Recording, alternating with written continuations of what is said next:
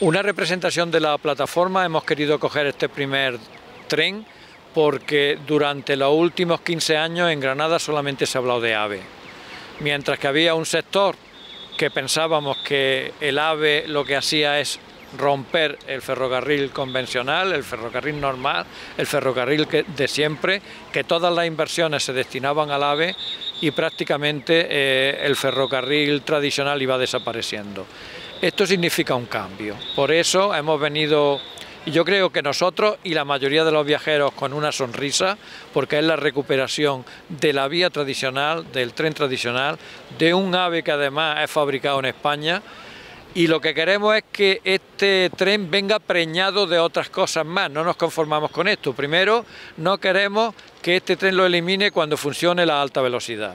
Segundo, queremos que paren en más sitios porque ahora mismo para solamente en Linares Baeza.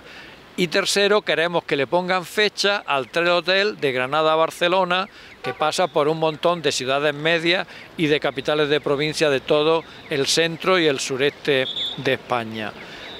Eso que ya se ha aprobado en el Congreso de los Diputados en bastantes ayuntamientos por unanimidad,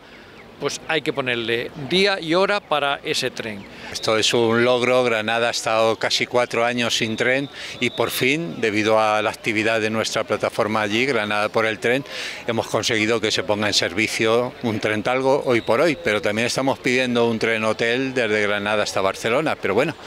esto es el principio, así es que vamos a seguir adelante.